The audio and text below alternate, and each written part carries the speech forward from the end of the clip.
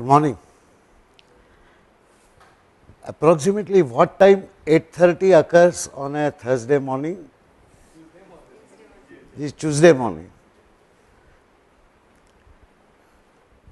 Okay. So, what any morning, when does 8.30 occur? I was asking them approximately when does 8.30 occur in the mornings. So, they are all smiling. For them 8.30 has occurred well before 8.30. I thought I was late because I knew I will take 5 minutes to set things up. But uh, this is later. uh, what do you advise? Because this is not a one and a half hour class, it's a one hour class. And you will have another lecture after this, right? So, 9.25 sharp we should quit. And it is already 8.40. So, what do you suggest? Okay, to begin with, I will suggest the following. Uh, you come over here and you come over here, so that if there are any latecomers, they need not disturb everything and they can quietly go and sit there. on the system. Right? So, what is to happen? This is a drama which is playing out at the moment. I've decided to write to uh, uh, Professor Pathak needs no. No, you, I have, you already introduced me to them. Yes, last time. Please, please, please. So, uh, I, anyway, I would say the- Yeah, we- very special to us. I'll say that for many reasons, as some of you who interacted with him individually have discovered. But now this is for the rest of you to discover. No more introduction. Okay. So, I will try to remember that this is a course on effective communication. What I have tried to do today is to put together some thoughts about what I call situational communication. Those of you who came in late, by situational communication, I mean how exactly do we handle ourselves in different situations. Now, mostly this course has been about the situation where you are students and you are submitting assignments or you are uh, preparing reports and submitting them. The course has been by and large about that. So, to enhance your ability to write well, enhance your ability to speak well has been the main points. However, I submit that there are several situations where you are required to exercise your communication prowess and you still have to be effective in all those situations. As a matter of fact, if you study the requirements of different situations and imagine yourselves to be in one of those situations and try and understand and appreciate how best you could deal with that situation in terms of communication requirement, it will probably be useful even when you are communicating normally as a professional. So, that is the point that I am trying. First of all, a brief review. All of us know this.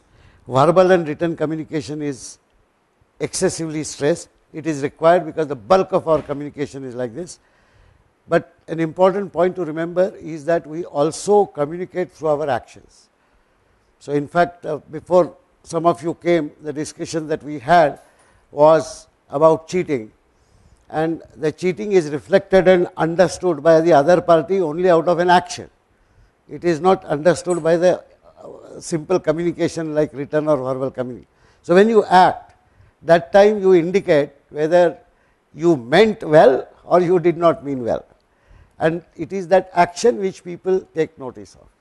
So, your thoughts, for example, as communicated verbally or in writing, make a lot of sense, but unless they are backed up by your action, okay, people will start discrediting even your verbal and written communication in times to come. So, the credibility of communication depends not just on what you write, but what you do, what you act.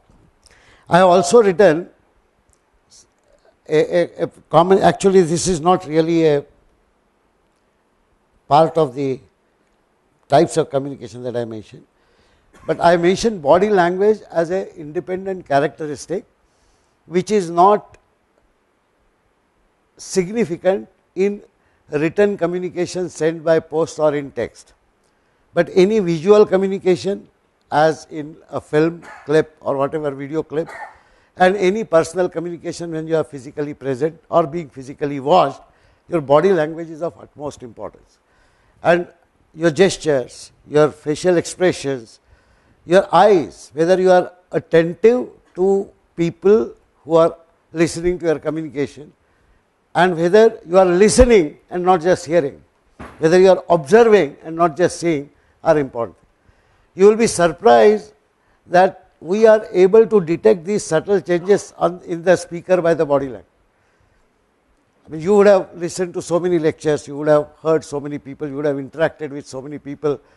You can immediately, instantly guess. You may not be able to articulate it, but you can instantly guess whether that person is looking at you or looking through you. Whether the person has you in mind or something else in mind. Okay. Whether the person is attentive or not attentive. Whether the person is serious or not serious. And whether the person truly desires to communicate what he or she wishes to say or is doing just a task. These are subtle differences. As professionals of tomorrow, you need to understand these nuances and learn to counter them when the ball is on the other side. Namely, you are communicating and somebody else is listening. The body language is of utmost importance, and that is why extraordinary rehearsal is a mandated thing while preparing any presentation. In fact, you would have noticed that many presentations appear very natural without any preparation. They do so appear because they have been extremely well rehearsed. I don't know whether I shared this with you or not, but when I was a young teacher, I used to actually stand in front of a mirror and give complete one hour lecture and record it on a tape recorder. Those days we had only tape recorders, the technology, and would listen to that and correct the ah, oo, a, etc., etc., in order to ensure that my presentation is as best as it could. So, it, it requires that kind of hard work. If you are making a seminar presentation, that is why many times you have these mock seminars. The objective of mock seminar is that you prepare well, time yourself properly. Many people start reading from the slides. That is the biggest nonsense that you can ever do. Never ever read anything that is written in the slide. You are supposed to write some points on the slide, but you are supposed to explain. As a small digression, I am tempted to tell you an anecdote. This happened in IIT. A person like you, an MTech student, he was Professor Sarda student, I was the examiner, an external examiner and a chairman, his final defense. And he had huge slides, points written in details, and he started reading them. So, after three slides, everybody was getting irritated. Sarda didn't know what to do. The chairman of the defense stopped him and said, Look, young man, we can also read the slides. So he said, Sorry, sir, went to the next slide and just stood there for some time. And everybody was wondering what happened. And then after two minutes, he says, Over, sir. so he took that comment so seriously. Now, you cannot have a better example of miscommunication or bad communication than so please remember this. Anyway let me let me continue with uh, the discussion on on the verbal written and other but what i am talking about is situational communication so different situations what do you handle things so first of all one situation is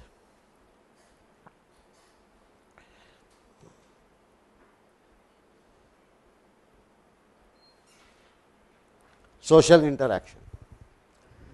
By social interaction, I don't mean a Bornheim and a get togethers and so on. Any two individuals interacting is a social interaction. Any group of people interacting is a social interaction, and this can this interaction is required, is necessary, is part of our lives.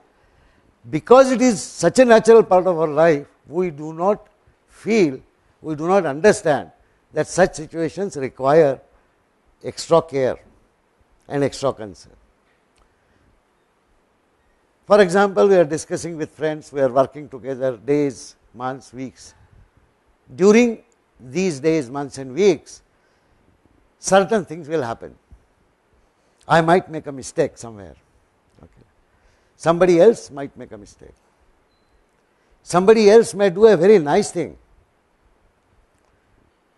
Somebody may be extremely useful to you in some situation. Do we, do we always without fail take the trouble of using the following words effectively?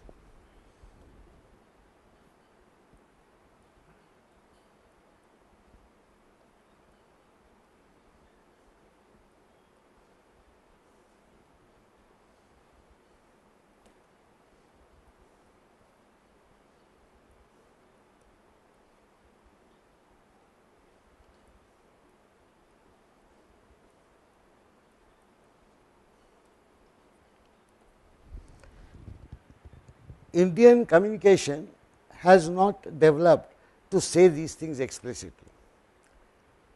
Although like all other human beings in the world, we also go through the same emotional experience. We do feel nice if somebody else does something nice. We do feel bad when we make some mistake. Okay? We do feel very good when somebody helps us but we often do not explicitly express it. Developed world has figured out certain ways and when I say developed world I do not mean only the west. If you go to that era in India which eh, during which India was a developed world economically. Do you know what was that era? When more than 50 percent of the world's not more than close to 50 percent of the world's GDP or more than 50 percent of the world GDP was produced in India and China In fact, the Indian and GDP, Indian and Chinese GDP in that era was larger than the entire European GDP combined. United States did not exist. Do you know what was that era? I am talking about economic wealth. Which century? Sorry? No, earlier than that. 16th, 17th century, the European Renaissance started and the European expansion to the rest of the world started. Okay, this was essentially from 13th century to about early beginning of 16th century. And the reason this GDP was so high was because the entire domestic product of any nation or any country or any society was essentially agrarian.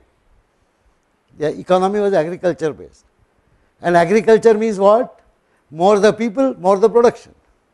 China and India had very large populations even then. And that is why Chinese and Indian production was the highest. And because the agrarian production was highest, the exchange of barter system permitted Indian traders to exchange this high wealth to get other things from all over the world. And that is why trading was of a great consequence in both China and India as far as the entire western world was concerned. During that time if you look at the cultural development, societal development, you will find that such explicit expressions had become part of the common language. So, some of you who would have known or studied or heard let us say Urdu spoken in North India of that time, what we call an adab, a, a, a a way of speaking. So, if somebody does a good thing to you, people will invariably say shukriya, but we do not say thank you that frequently. Now, this is exactly what needs to be adopted by human beings as the societies progress on the path of culture, development and prosperity.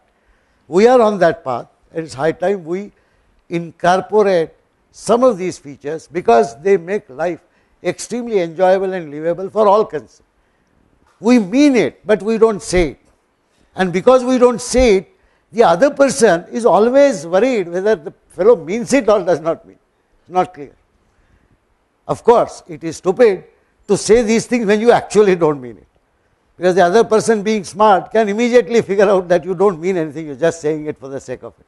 So, no make believe. It has to come genuinely and therefore, you have to learn to feel it genuinely anyhow. You have to feel it genuinely and then that is true about any communication. Unless the communication reflects your inner thoughts, it is not truthful. And believe me, you may think otherwise, but every human being listening to your communication is sensitive enough to understand whether what you are saying is coming from the heart or is coming just superficial. You can figure it out, right? When somebody talks to you, you can figure it out. You may be nice and polite and not say anything, but you can figure it. But don't forget that everybody else can figure it out too. This is a common human sen sensitivity which is available amongst all. So, coming back to this, I would strongly suggest, and this has to be practiced because this is an acquired syndrome. Please remember what I said. A child has some of the greatest psychological advantages in terms of basic characteristics curiosity, boldness, perseverance, ability not to give up, and passion and excitement. They are natural. But a child does not have ethics and humility because these are not natural traits created by nature in its evolution. These are social traits which only human societies have created. And the human societies have created these traits in order to make group living comfortable and enjoyable. Human beings always live in groups, and that is why these traits have to be acquired. Now, since these are not necessarily part of a syllabus in school education or college education, and there are no marks awarded, no grades awarded, probably these are neglected. But it is never late to start with some of these I acquired only when I got a greater exposure to the world and there is no harm in saying yes I did not realize the importance, but now onwards I will do it. Okay. So, please remember this. Whenever somebody does anything and, and the, the developed world it is not just western world. You take Japan okay? You take even the hill areas of the world anywhere. Whether it is Tibet or uh, uh, uh, Han Mountains in China or Himalayas here or Nilgiris downstairs. If you look at the behavior of people who live on hills, okay, you will find this adab very natural, helpfulness as well as to, to interact with others with great politeness is very natural and I think it is high time we all adopt it. So, learn to say thank you learn to say sorry and learn to compliment somebody who has done some good work completely unconnected with you. Does not matter. But some appreciating something good. It has to be a genuine appreciation, it has to be a genuine good thing because it, you see, when you use these words, you are not merely communicating, you are actually thinking like that in your mind. That is how you will use this. So when you say thank you, you actually thought that yes, somebody has done a good turn. When you say sorry, you are actually learning to admit your mistake to yourself first, which is the most difficult part. The human ego does not permit these things to come out easily. And that is where the cultured human scores over ordinary. And that is what we need to adopt in our own life appreciation of good work done by others is important in some other aspect as well, which you will realize when you reach leadership positions. And you are all smart people, you will have an IIT pedigree, you will naturally rise in whichever organization you work for.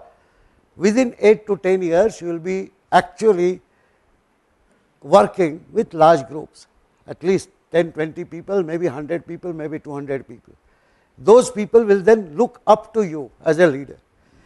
This is not a, a class on leadership, so I will not spend time on mentioning variety of attitudes and attributes that a leader must acquire. And I don't believe for a second that leaders must be born. There are natural leaders who are born, but leadership can be learned and can be practiced. Restricting myself to the communication aspects of a leader, I would like to tell you one thing. If you have 100 people working for you, and if you make it a point that somebody has done well, okay, you just go to that person and say, Well done. Or more importantly, in another group meeting of some 10 people where that person is not there, you say, Ah, this person has done this, I have heard, I think that's a good job. You know it, you feel it, but you say it. You know what happens? that person will work with double the efforts. Particularly when that person comes to know that his activities were praised in his absence.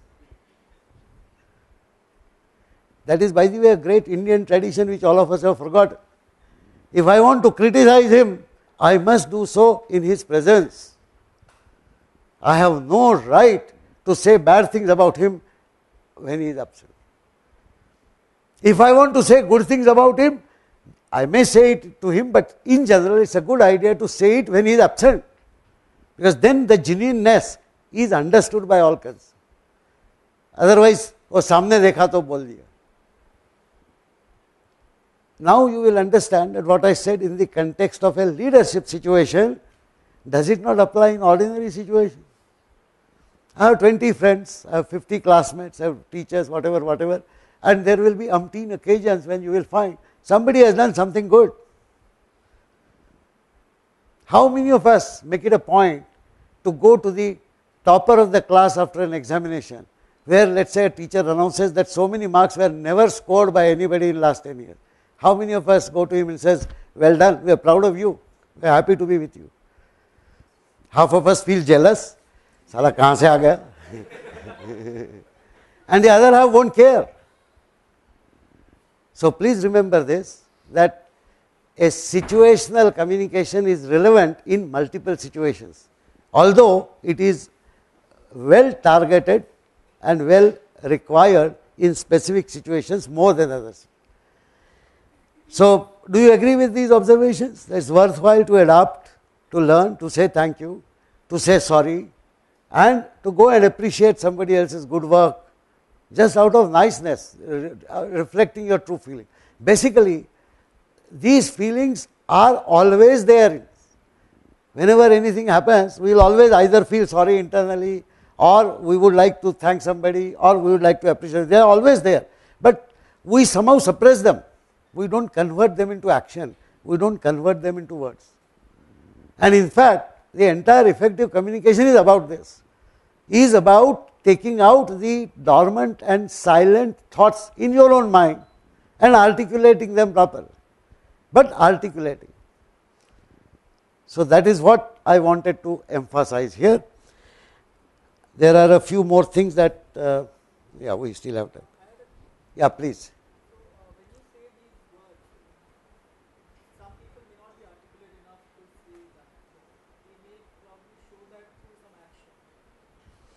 Yes. So what he is saying is that yes, yes. So let me repeat the question. He is saying that some people may not be uh, may not be may not articulate these words, but they may be able to show those through actions. Okay. You must of course show the feelings through your actions. There is no substitute for that. What I am trying to say is that communicating these in words and communicating these in actions are not mutually exclusive. It is not either this or that. In fact, both are important. So, he brings out another point that when I say sorry, okay, it, it cannot be a muh dikhai sorry. My action subsequent to that event must ensure. I hit you on the head and say sorry. Five minutes later, I again hit you and say sorry. That uh, if you have seen that uh, some taxi number something when Nana Patekar hits that car and says sorry, hits that car again says sorry, that, that is not sorry. A genuine sorry is one where you desperately try to avoid repeating that mistake later. That is the action. Yes. So when you take that action, the point is, suppose you have hurt me by some mistake. You have not said sorry to me, but you are now behaving differently. Now that behavior will be noticed by me only when such occasions happen in future. Suppose for 20 days there is no chance for you to make any kind of mistake. Then for 20 days I won't even know whether you are feeling sorry or not. 20 days later, first time you behave differently, I might notice it. But what would have remained in my mind is the stupid behavior of yours 20 days ago more. I, I don't know if you heard a Hindi kahavat, jo बूंद से गई वो होश से नहीं आती so what you have lost by one indiscretion is not easy to uh, to capture it back by a lot of very discreet things but still the actions will speak for it my submission is that actions alone cannot be a substitute for words nor words are a substitute for proper so thanks for bringing out that point that actions are important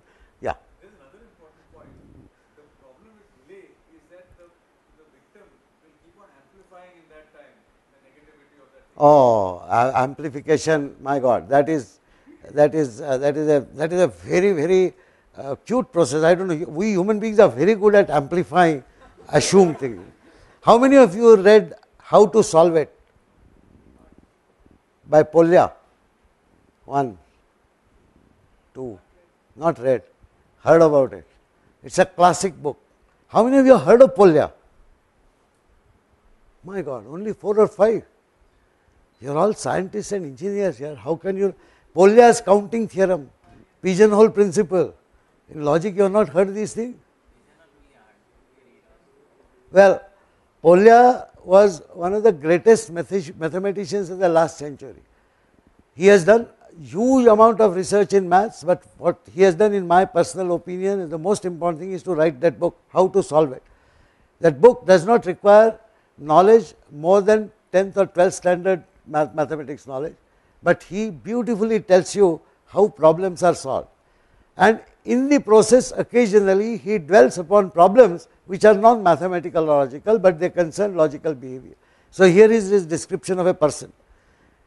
So, this person is working in an organization and there are managers which control him and 10 other people like him.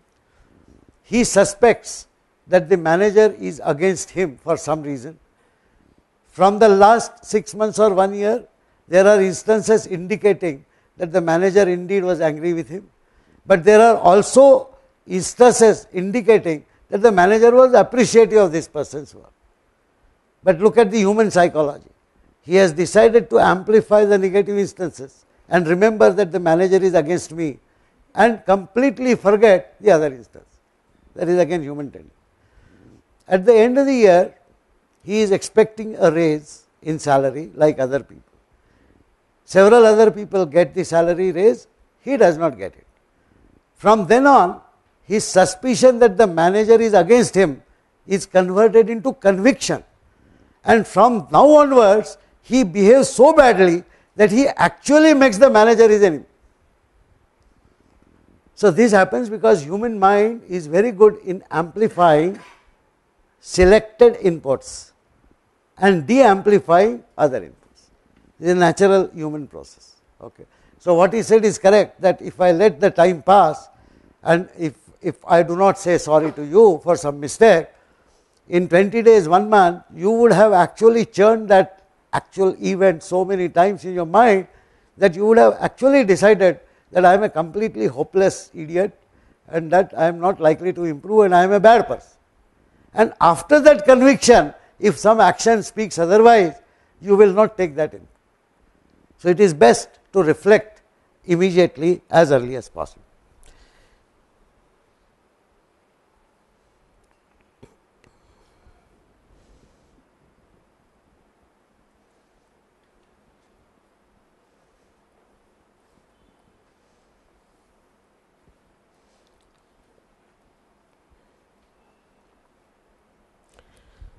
We also communicate through our behavior in very many social situations. I will mention a few which are absolutely common and well understood and well encountered every now and then. On the face of it, they are trivial and that is the reason why we, we behave the way we behave. Take a traffic signal. If the signal is red, you are not supposed to cross signal is green, you are supposed to cross. What do we do? This is, this is an Indian social, social problem. We will not, we'll, we'll stand there, we'll look here and there, and we'll cross. And if the car comes, we'll rush. Many times we'll say, as if we are the policeman on duty. What does a car driver do? In fact, uh, in Mumbai used to be very disciplined earlier, nowadays not so. But when I tried to drive in, in Ludhiana and Pune. In Ludhiana, I remember I, I stood at a, at a uh, junction because the policeman, there was a policeman standing like this and he was directing traffic. I stopped and below, behind me, two or three cars started honking. So I looked back and I, I showed him the policeman. They honked further, and that police fellow did this. what was the meaning? So this, everybody is indecent. I pride myself in saying that I do not cross a red light no matter what the temptation. Do you? I learned this. You're talking about West, some of the discipline. In, in Hawaii, where there was a conference 1995, me and my wife and some other people from the delegation were being driven to the airport at 2 o'clock in the morning. We had an early morning flight. Nothing, no traffic there. And as the bus was moving, the bus halted at a junction because there was a red light. And you could see it's a plane, you're visible about kilometers, absolutely no traffic. So one of the Indian delegates, uh, because we're getting late for the, uh, for the flight time, and he says, uh, oh, there is no traffic. And you know what that bus driver said? A practically far less literate person than anyone present in that bus. He turned and said, Sir, the bus has to stop because the red light, not because whether there is traffic or not. That is the discipline. Do we imbibe that discipline? We do talk about others not following it. Do we? Please understand this. This is very, very important because this can be exemplified by an individual. If I decide that no matter what the temptation, I will not cross. No matter what the temptation, I will climb up the bridge while crossing from main gate to the other side, no matter what. Do we dare? The point is, it's always easy to criticize. As you correctly said, several people do not behave properly, but I think the, the instance must start from oneself. And I think I have no moral right to criticize others if I am not as perfect as is possible. I may not be a perfect person, I may make several mistakes, but it is possible. Do we do this?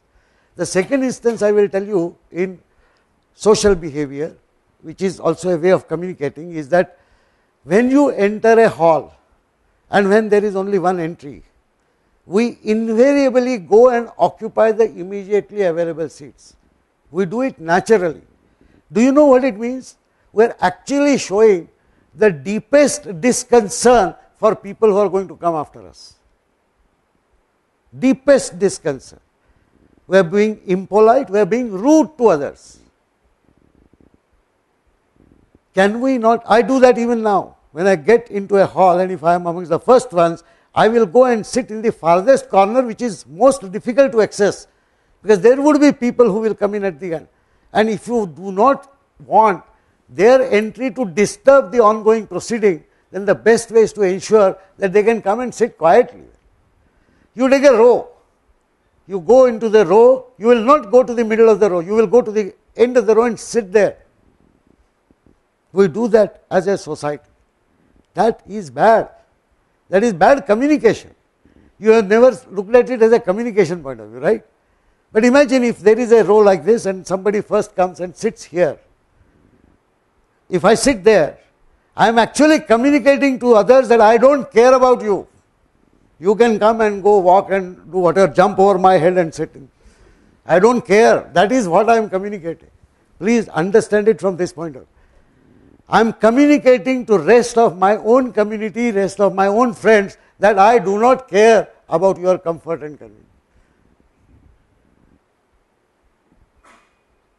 I am emphasizing these two cases because these two cases happen 10 times a day in our lives.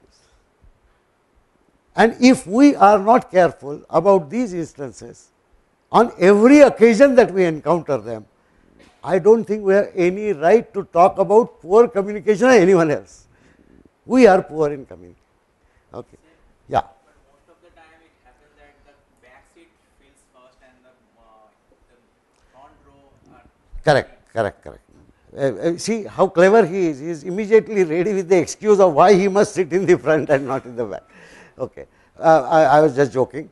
You are very right. When that happens, invariably the speaker or the organizers will request people to come forward.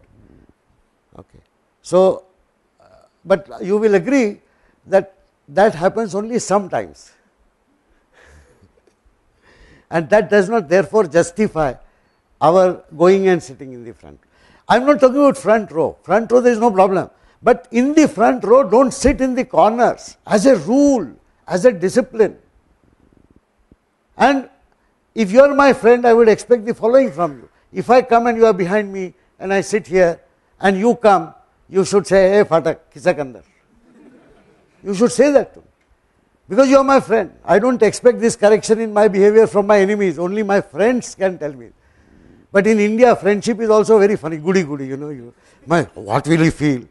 Are, you are his friend, yeah? it's your job to tell him he is doing something wrong. And if he feels bad about it, so be it. If you are his true friend, he will know that you are not saying it out of a khunnas against him. You are trying to correct his behavior. There is absolutely nothing wrong. So please treat the friendship communication also in this context. I mentioned about leadership communication. Critical communication is another fundamental thing of a friendship situation. If you as a friend do not criticize my behavior, there is no other power on earth which will correct me. No other power, only my friends can do that. You must have the courage of your conviction and you must have the confidence in your friendship with me. That even if I shout at Phatak, he will not take it amiss because he is my friend. And I might feel bad temporarily, but I will understand what a great job you are doing by telling me that where I have moved. So, these, these are very, very important aspects of communication. Social discipline, I will call this discipline of friendship.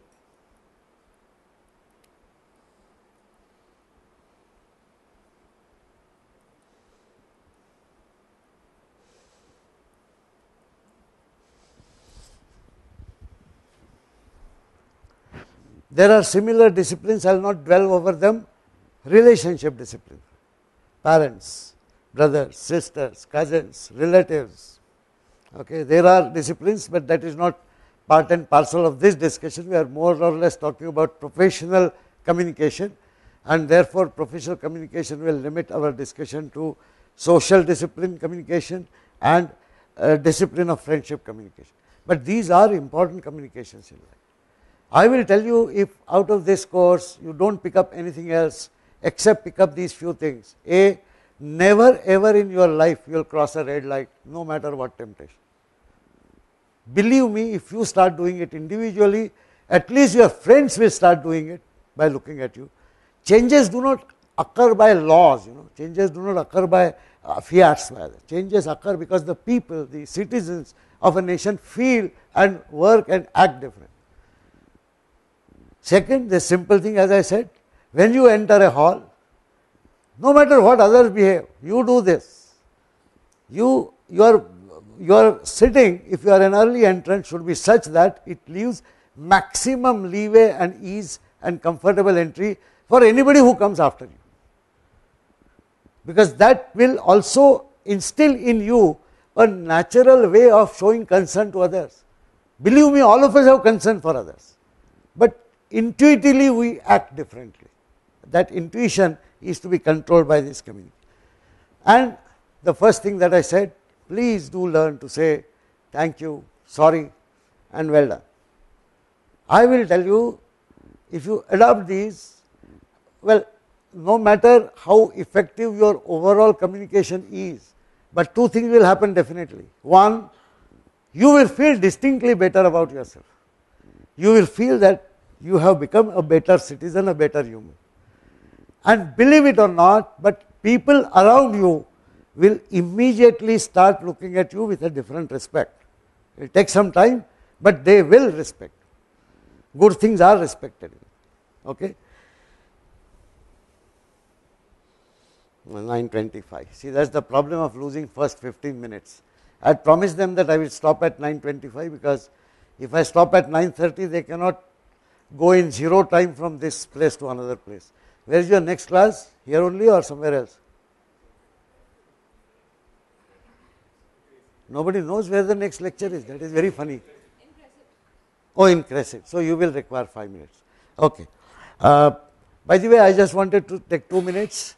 Uh, I had requested for submission of certain stories in your lives and correction to the interview that was submitted. The correction work has been done by most of you. However, you have sadly failed to point out all the errors. Most of you have found about 20 to 25 errors. It is good work, but it is not good enough because uh, Prakash, how many were there? About 100, 120 errors were there. so, if you really go back and take Chicago Manual of Style by your side and start doing it, out of these 120, about 35 or so are disputed. disputed between him and me because he thinks that comma should be there and I don't think that comma should be there, but that is that is because of uh, the differences. How many of you have seen this book? The Chicago Manual of Style. Nobody. Okay, seen. This this is a proof editing book. And Wren and Martin, English grammar. Ah, many people have seen it, seen it. Some have read it, but nobody has practiced it. So these are important things. I had asked, I had requested you to write three incidences in your life, and I will tell you, I was, I was very pleasantly surprised to read several instances that people have written. Some have written extremely well. In fact, some people have not written them well, but the intensity of the feeling comes out very clearly. I could picturize the incidents, although the language may not have been uh, correct or something. And it buttressed my own conviction that there are too many decent people in the world around us. We generally ignore them, or even if we notice them, we don't practice what they do. So, thank you very much. However, I would have expected the entire class to have written something because I cannot conclude that 50 percent of my students in this class have had no incidents in their life, in their entire life, where somebody had behaved ethically differently. I don't, I don't believe in that for one minute. Uh, unless, I mean, you have been living in such a cocoon in isolation that you don't interact with anybody in life. When you interact with someone in one year, you will find some incidents where that person shines. See, we are a multifaceted individual always. It, it does not, if, if I behave ethically in one instance, it does not mean that I will necessarily do so always. There would be temptations where I will misbehave. But even if I do it once, it is important for me to remember it and for others to emulate.